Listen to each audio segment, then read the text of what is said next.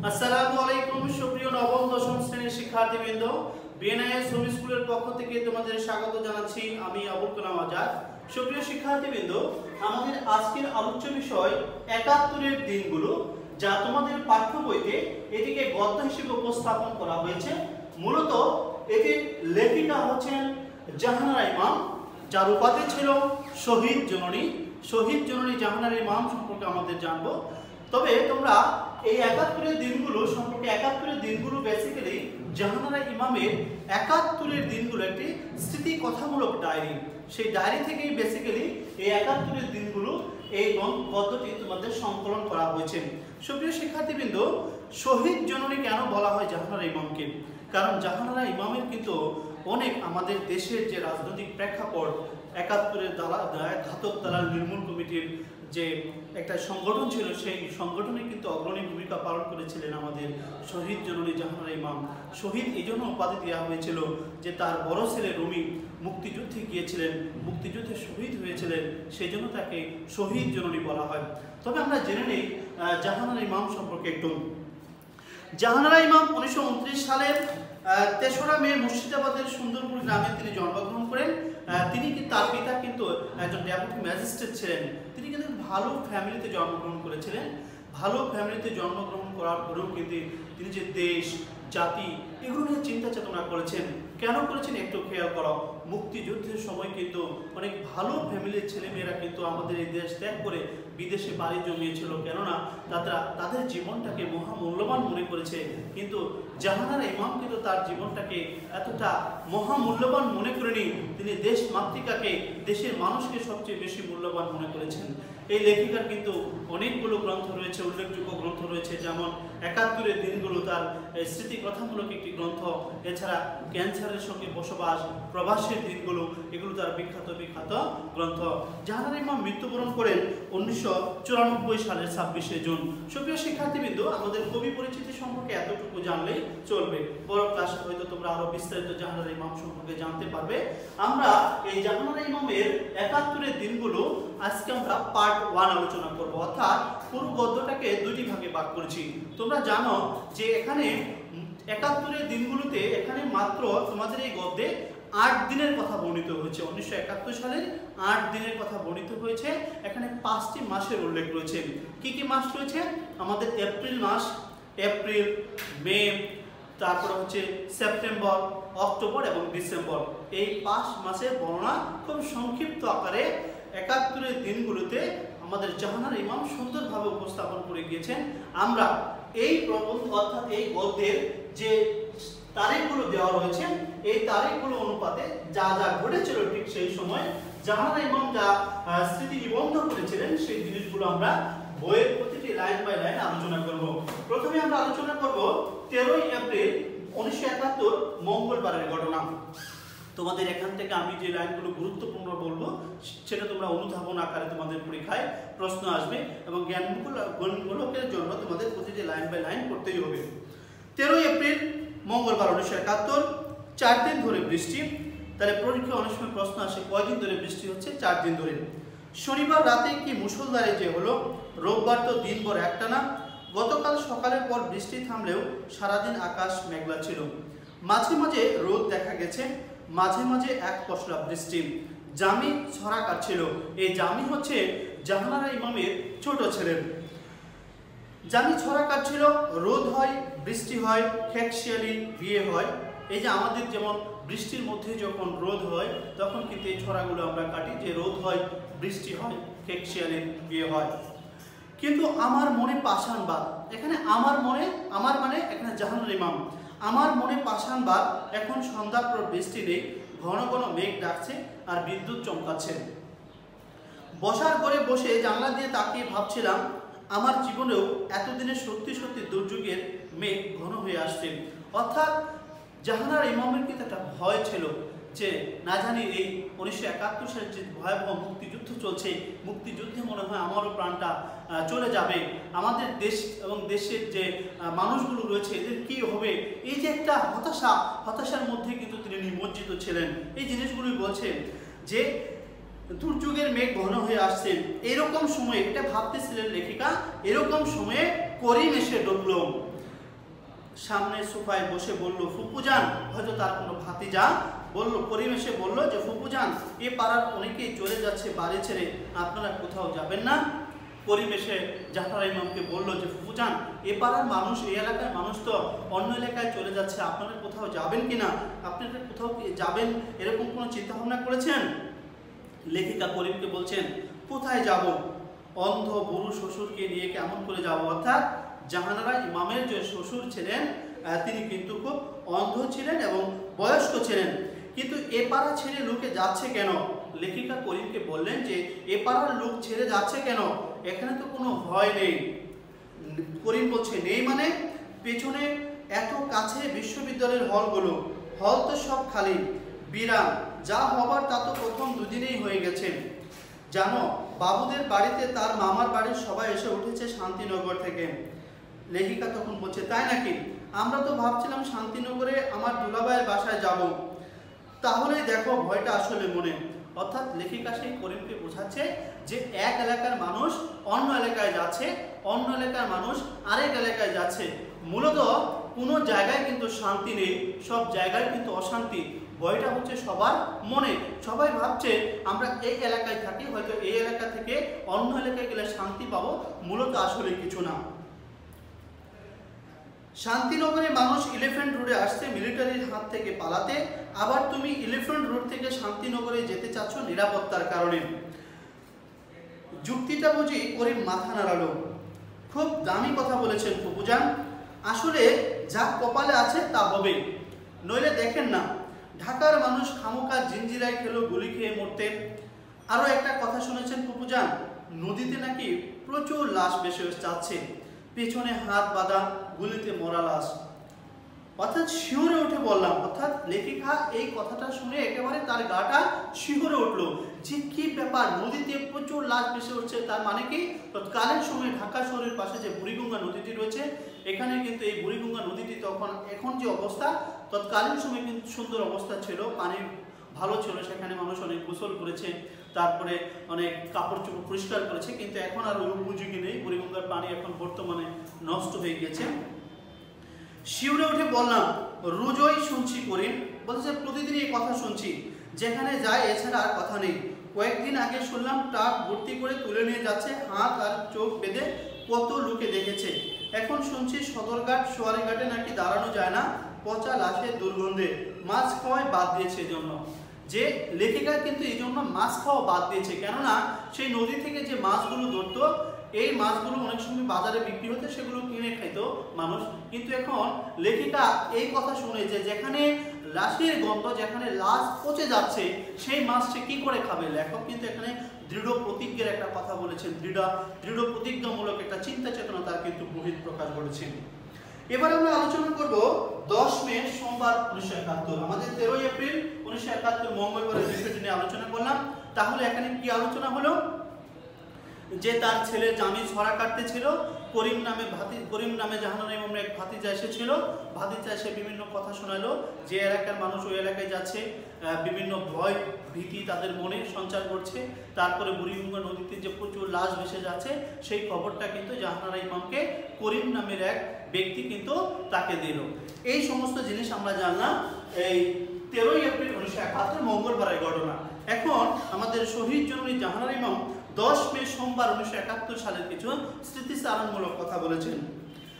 তিনি বলছেন, বেশ কিছুদিন বাগানের দিকে নজর দেওয়া হয়নি। অর্থাৎ লেখিকার একটি বাগান ছিলেন। আমরা যেমন ঢাকা শহরে বা গ্রামে গঞ্জে যারা থাকি সব করে কিন্তু বাগান করি। সেই বাগান জাহানের মঙ্গল ছিল। বেশ কিছুদিন বাগানের দিকে নজর দেওয়া হয়নি। আজ সকালে নাস্তা খাবার পর তাই বাগানে গেলাম। বাগানে বেশ কটা হাইব্রিড টি রুজের গাছ আছে। এই ধরনের গোলাপ গাছের খুব বেশি যত্ন করতে হয়, যা গত দুই মাসে হয়নি। অর্থাৎ গত দুই মাসেও কিন্তু বাগানে সে যায়নি। কেন যায়নি? কারণ হচ্ছে যে দেশে তখন একেবারে অস্থির অবস্থা ছিল।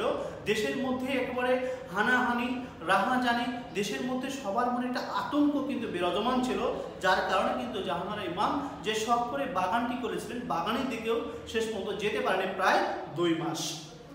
খুরপি হাতে, খুরপি মানে যেটা দিয়ে মাটি খনন করে, এরকম যন্ত্র খুরপি হাতে কাজে লাগার আগে গাছগুলোর দিকে তাকিয়ে দেখলাম মাখনের মতো রঙের পিচ অর্থাৎ শান্তি কালোচে মেরুন বনি প্রিন্স আর অ্যানা হার্কনেস ফিকে ও গাঢ় বেগুনি রঙের সিমুন আর ল্যাভেন্ডার এগুলো বিভিন্ন গাছের নাম ফুলের নাম।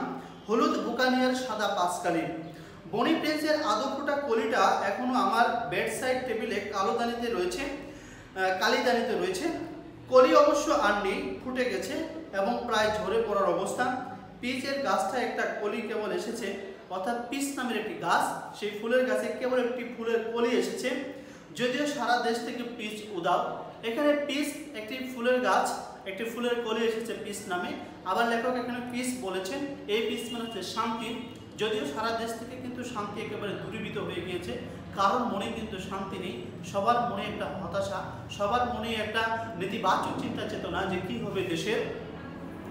বাগান করে একটা নেশা। এই নেশায় দুঃখ, কষ্ট খানিকক্ষণ ভুলে থাকা যায়। গত কয়েক মাস ধরে নেশাটার কথা ভাববারই অবকাশ পায়নি এখন ভয়ানক বিক্ষিপ্ত মনকে ব্যস্ত রাখার গরজে বুধকুরি নেশাটার কথা আমার মনে পড়ছে। অর্থাৎ এই যে ভয়ানক বিক্ষিপ্ত মন, কেন বিক্ষিপ্ত মন? চারিদিকে কত আত্মীয় স্বজন, কত পরিচিত মানুষের মৃত্যুর খবর সে জানতে পারছে। জেনে তার মনটা কিন্তু একেবারে বিমর্ষ হয়েছে, হতাশায় নিমজ্জিত হয়েছে। এই বিষয়গুলো কিন্তু এই- একঘেয়েমি থেকে কিছুটা দূর করার জন্য, একঘেয়েমি থেকে বের হওয়ার জন্য কিন্তু তিনি বাগানে গিয়েছিলেন। তারপর লেখিকা এখন বলছেন, বারোই মে বুধবার উনিশশো একাত্তর সালের কথা, বারোই মে উনিশশো একাত্তর বুধবারের কথা লেখিকা কি বলেছেন আমরা একটু পড়ি। জামির স্কুল খুলছে, দিন দুই হলো, অর্থাৎ দুই দিন হলো জামির স্কুল খুলেছে। সরকার এখন স্কুল, কলেজ জোর করে খোলার ব্যবস্থা করেছে। তৎকালীন সময় যেহেতু পাকিস্তানরা শাসন করত, পাকিস্তানরা শাসন করার সময় মুক্তিযুদ্ধ চলছে, ঠিক সেই সময় তারা বলল যে স্কুল খোলা। এটা একটা এলাহি কাণ্ড। এক তারিখে প্রাইমারি স্কুল খোলার হুকুম হয়েছে, তারা অর্ডার দিয়েছে, আদেশ দিয়েছে যে এক তারিখে প্রাথমিক বিদ্যালয় খুলবে, নয় তারিখে মাধ্যমিক স্কুল হাই স্কুলগুলো নয় তারিখে খুলবে। জামি স্কুলে যাচ্ছে না, একটু বলে রাখা ভালো যে আমি কিন্তু হাই স্কুলের ছাত্র ছিল জামি স্কুলে যাচ্ছে না, যাবে না শরীফ আমি রুমি জামি, অর্থাৎ শরীফ হচ্ছে জাহানার ইমামের হাজব্যান্ড শরীফ আমি রুমি জামি, রুমি হচ্ছে জাহানার ইমামের বড় ছেলে। জামি, এই চারজনে বসে আলাপ আলোচনা করে আগে ঠিক করে রেখেছিলাম, স্কুল খুললেও স্কুলে যাওয়া যাবে না, যাওয়া হবে না। দেশে কিছুই স্বাভাবিকভাবে চলছে না, দেশে এখন যুদ্ধ অবস্থা। দেশবাসীর উপর হানাদার পাকিস্তানি জানোয়ারদের চলছে নির্মম নিষ্পেষণের স্টিম রোলার এই অবস্থায় কোনো ছাত্রের উচিত নয় বই খাতা বগলে স্কুলে যাওয়া। অর্থাৎ এই দেশের যে একটা ক্রান্তি লগ্ন চলছিল ঠিক সেই সময়, ঠিক সেই সময়টাতে পাকিস্তানি হানাদার বাহিনীরা আমাদের মুক্তিযুদ্ধের উপর, আমাদের দেশের মানুষদের উপর নির্মমভাবে অত্যাচারী স্টিম রুলার চালাতো। ঠিক এই সময়টাতে স্কুলে যাওয়া প্রশ্নই আসে না। এরা পরিবারের দিক থেকে আগে থেকে এই সিদ্ধান্তটা নিয়ে রেখেছিল। জামি অবশ্য বাড়িতে পড়াশোনা করছে এবারও দশম শ্রেণির ছাত্র।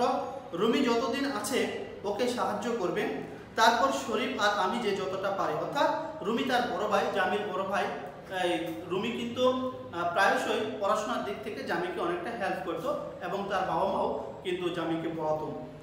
জামি তার দু তিনজন বন্ধুর সাথে ঠিক করেছে, ওরা একসঙ্গে বসে আলাপ আলোচনা করে পড়াশোনা করবে। অর্থাৎ জামি ঠিক করেছে যে, এই যে একটা নেতিবাচক পরিস্থিতি, একটা অরাজকতা অরাজকতা অবস্থা এই সময় তাদের পড়াশোনা ঠিক রাখার জন্য জামি তার কয়েকটা বন্ধুকে সাথে নিয়ে গ্রুপ ডিসকাস করে পড়াশোনা করবেন।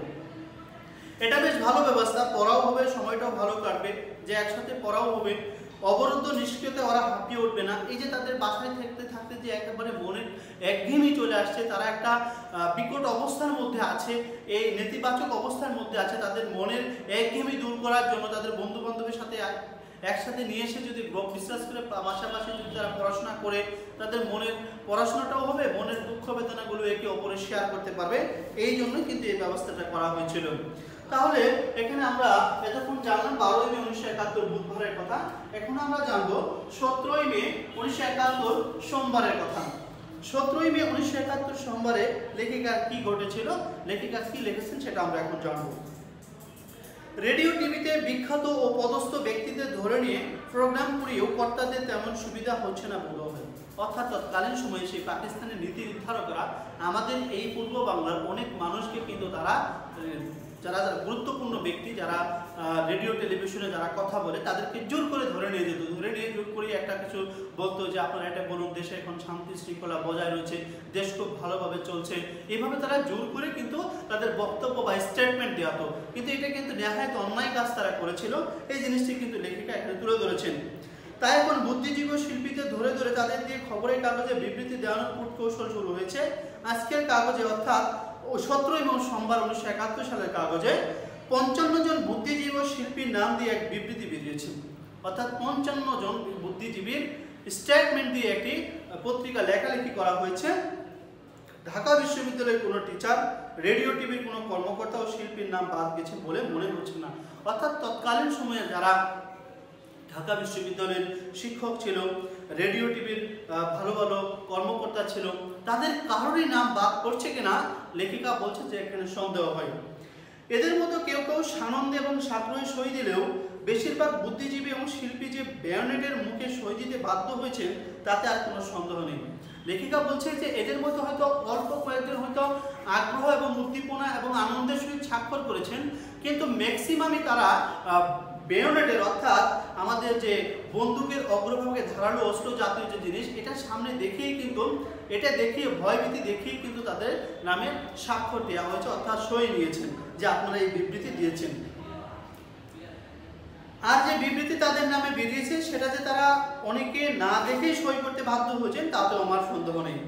আজ সকালের কাগজে বিবৃতিটি প্রথমবারের মতো পড়ে তারা নিশ্চয়ই স্তম্ভিত হয়ে বসে রইবেন খানিকক্ষণ। লেখিকা বলছেন যে, এই নিউজ যখন যারা স্টেটমেন্ট দিয়েছেন বা যাদের জোর করে স্বাক্ষর নিয়েছেন, তারা যদি এই পত্রিকাটি পড়ে, পড়ার পরে খানিকক্ষণ তারা একেবারে নির্বাক হয়ে যাবে।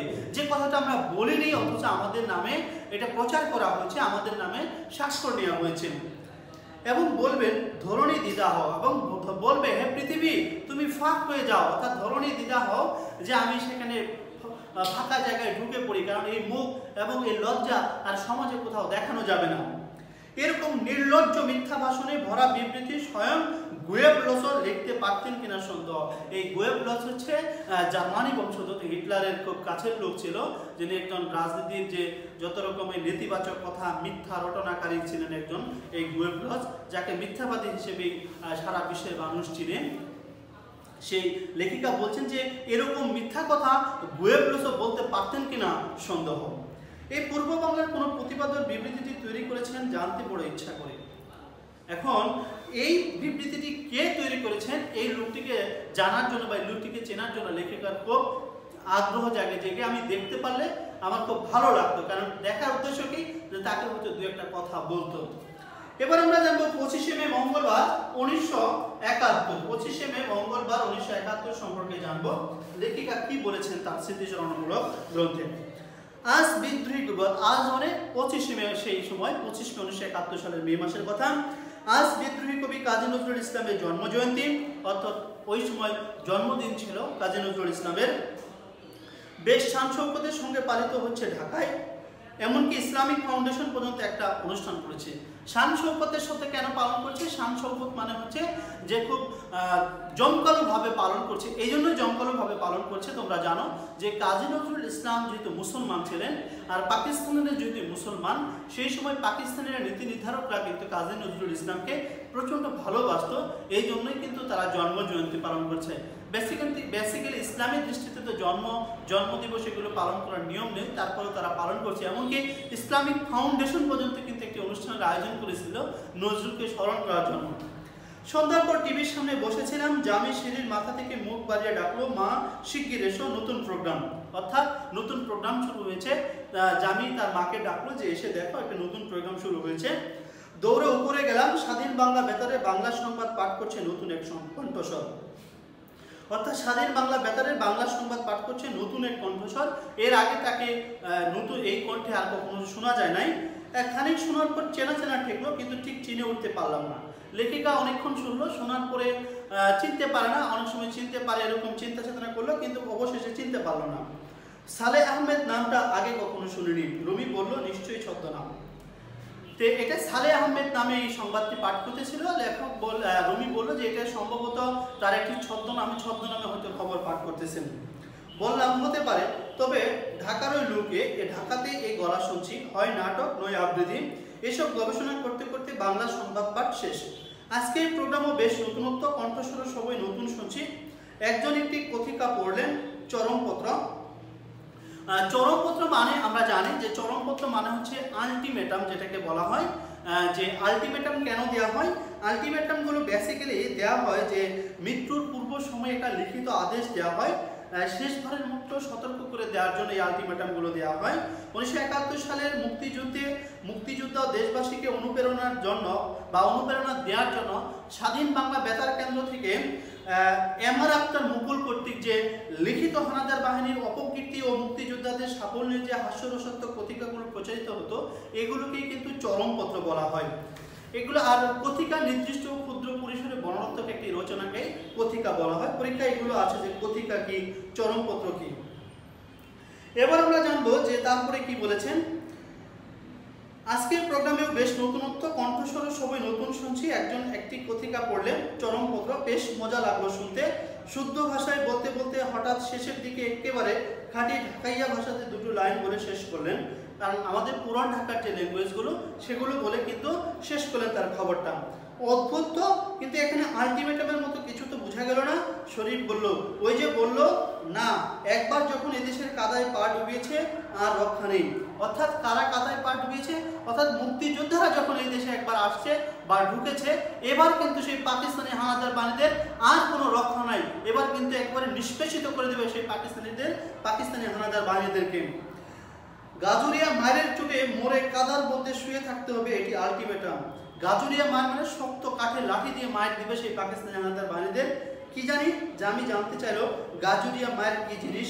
রমি বলল, জানি না, আমার ঢাকাইয়া বন্ধু কাউকে জিজ্ঞেস করে জেনে নেব। ওই যে মুক্তিযুদ্ধের গেরিলা তৎপরের কথা বলল, ঢাকার ছ জায়গায় গ্রেনেড ফেটেছে। আমরা তো সাত আট দিন আগে এরকম বোমা ফাটার কথা শুনেছিলাম, কিন্তু ঠিক বিশ্বাস করিনি। ব্যাপারটা তাহলে সত্যি? আমার সারা শরীর কাটা দিয়ে উঠল। ব্যাপারটা তাহলে সত্যি?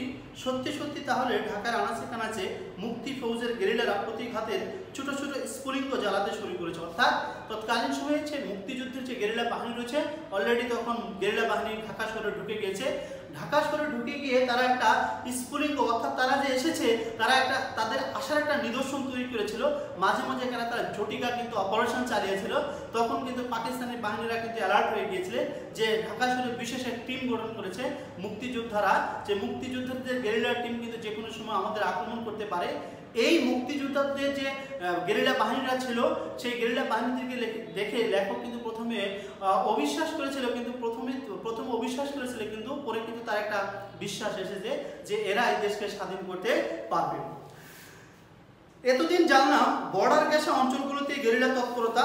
এখন তাহলে খুব ঢাকাতেও মুক্তি ফৌজ কথাটা এত ভারী যে এরকম অত্যাচারী স্বর্ণ দিয়ে ঘেরা অবরুদ্ধ ঢাকা শহরে বসে মুক্তি ফৌজ শব্দটা শুনলেও কেমন যেন অবিশ্বাস্য মনে হয়। আবার ওই অবিশ্বাসের ভেতর থেকে একটা আশা, একটা ভরসার ভাব ধীরে ধীরে মনের মনে জেগে করতে থাকে। লেখক, লেখিকার কিন্তু এখানে স্বপ্ন ছিল যে তাদের প্রতি ভরসা করা যায়, তাদের প্রতি বিশ্বাস করা যায়। সুপ্রিয় শিক্ষার্থীবৃন্দ, আমরা পরবর্তীতে একাত্তরের দিনগুলো অন্য ক্লাসে তোমাদের সাথে আলোচনা করব। আমরা আজকে এপ্রিল মাস এবং মে মাসের ঘটনাগুলো বর্ণনা করলাম। পরবর্তীতে আমরা সেপ্টেম্বর এবং অক্টোবর এবং ডিসেম্বর মাসের কথাগুলো আলোচনা করব। সবাই ভালো থেকো, সুস্থ থাকো। হয়তো অন্য কোনো দিন আমাদের এই বিষয়টি নিয়ে আবার কথা বলব। আল্লাহ হাফিজ।